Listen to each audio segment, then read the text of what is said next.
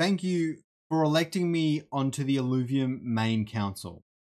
I am ready to further Illuvium's dominance in the crypto gaming space. Now, when I first started making content for Illuvium and essentially devoting my life to what has always been a childhood dream of Pokemon for adults, this was not where I thought I would end up. I don't know who would. I don't. That's that would that would be quite an interesting way to look at a project when you first enter into it. I want to enter into it. I want to become a council member. That's yeah. When I first found Illuvium, I didn't even know what a council was. I was actually relatively new to the crypto space, uh, generally speaking. And as I started to learn more, I felt like I had a lot more to give to the community and that I could always help the project. And until that stops being the case, I will continue to do what it is that I do. As you can see here, very many people voted for me to be on the Illuvium main council, and for that I am very, very honored. But this is where it starts, not where it ends, not where, not the middle. This is where it starts. Today, I'm going to mostly read off script and talk about the sorts of things I want to see improve in Illuvium and my plan to enact that change and make the DAO stand out in 2025. I want Illuvium to win, as ruthless as that sounds. I want Illuvium to be the top crypto gaming project for the next 10 to 15 years. I always have, and I always will. And I'm going to do everything I can to make that happen. Now, if you also have high hopes and dreams for Illuvium, please let me know down in the comments so that others can also read the comments and our community can continue to highlight some of its best aspects. When the community comes together, that's when Illuvium works the best. You should see the way it actually motivates the team to work even harder and get things out faster. When the community is positive, things go way better. I don't know if you guys have noticed that. If you have, let me know. But I honestly definitely have. So I've got three things I really want to talk about in today's video. User acquisition, which is basically the only thing I've been spouting about ever since I said I was going to nominate for the Illuvium Main Council. The changes I actually want to create in the DAO in terms of structure, process, and whatnot. And some topics on landowners. Now, I'm not haven't fully fleshed out kind of how I view that whole aspect, but there are a few things that are very important to me on that front that I do want to talk about today. So the first one is user acquisition. Now, I don't know how much impact, I'm going to have as much impact as I possibly can. Don't get me wrong. But the council is ultimately a governing body. What I know is that I can relay, relay information to coherent in a coherent manner at all of the meetings and all the rest of it and get a better idea of where labs is at and where I think labs might need improvement and so that I can help coach the community through that part of the process. But as for my own personal feelings on this subject, there are three main things I think Illuvium really needs to do to get that user acquisition up. Besides the obvious ones, I'm not going to talk about onboarding and fiat on ramps. That stuff is obvious as hell, okay? Just ignore that for now. That stuff is obvious. Who are the three main things I want to talk about? Is new gameplay experiences. Now, the overworld is fantastic. The arena, also great, especially Gauntlet but we have the building blocks to keep expanding this stuff. Now, Arena, you need to enhance it, polish it, fix it. That's all good and well. But I think with the overworld, there is so much untapped potential there, it's not even funny. Multiplayer is the obvious one, but some sort of simple battle royale will give Illuvium those viral moments for it to go onto Twitter and post a video of someone taking out another player, but not with a gun. They're sending out a ramfire, it's going and knocking another player out, that stuff, that is what gets people to go, oh shit, maybe I should download this game and give it a try.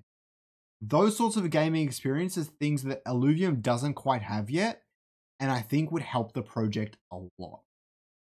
The second one is large tournaments, competitive esports. I kind of felt like esports was overrated for a little bit, to be honest. I didn't really give that much credit to it. I'm like, yeah, I mean, it can attract some people, but how big is it really? But Parallel has shown me the error of my way. Parallel, all of their tournaments, they drum up a lot of excitement. Even while the World is doing dissimilar things. There's a lot of Web3 projects that are showing that you can drum up a lot of excitement and get people to start trying out your game because they want to be in with the cool kids, essentially. They want to be like, they want to have that aspiration for being a pro player and winning a $100,000 prize pool. Once Illuvium starts doing that, after they polish up Illuvium uh, Gauntlet and Ascendant and things, I think it's a big way to draw large crowds into Illuvium to get them started playing the free parts of our game and then looking further into the IP and other aspects of Illuvium. I think it's a really big deal. Off the back of that is the third thing, and that is bringing the arena to mobile. We already know Kieran has started talking about uh, arena to mobile, porting it, getting people to start development on that, which is absolutely fantastic. But I think people underestimate how big of a deal that is. Now, we have to assume Gauntlet is in proper top peak state. Now, Gauntlet's fantastic right now, but there's a few updates and things it needs, obviously. Once it's in that prime position, it being on mobile is actually a pretty big deal, especially since the Asian countries in particular are really fond of TFT.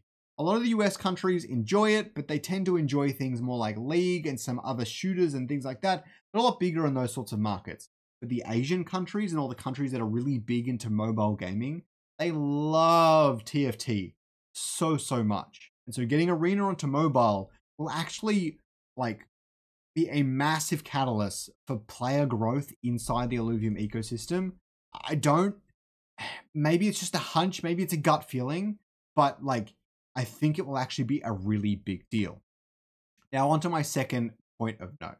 Changes I want to create in the Illuvium DAO. Now, these are quite simple.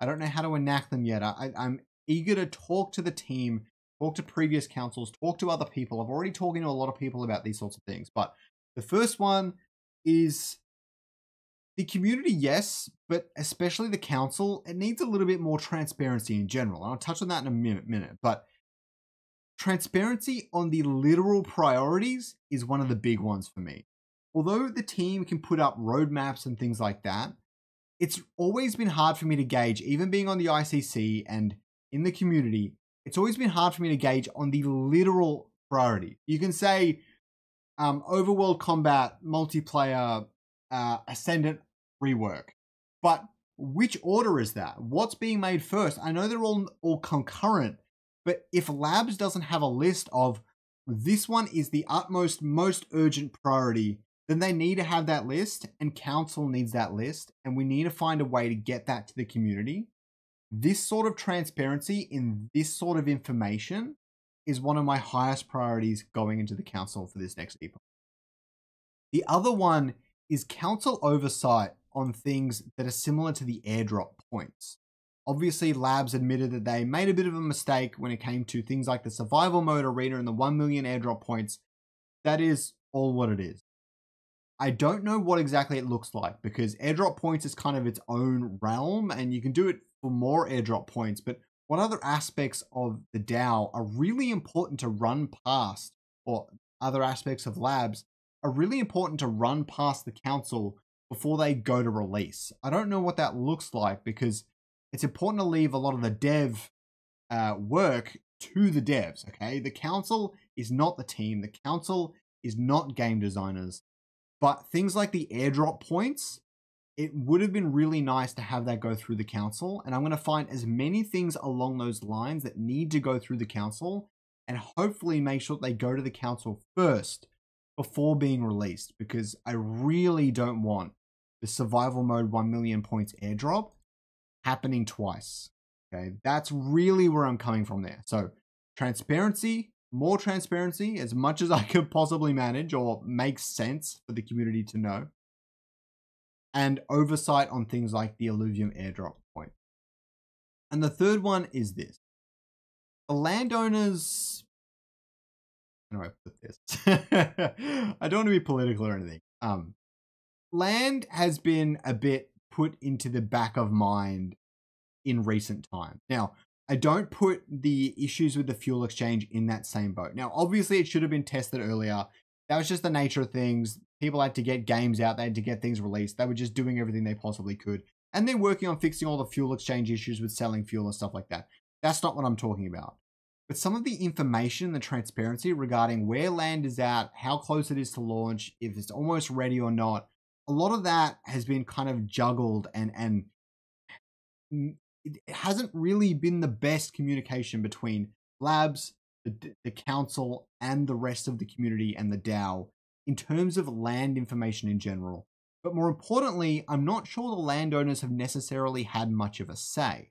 Now, you can say that they're a community member like anyone else, they can make proposals and things like that. That's all good as well, but land is a core NFT in the Illuvium ecosystem. And I don't know if it's even possible on Snapshot, but I would actually really like for landowners to have some sort of voting power in Illuvium. I think that's important. They can't necessarily elect anyone yet. And uh, many people have suggested things like maybe even a, a body of landholders or something like that.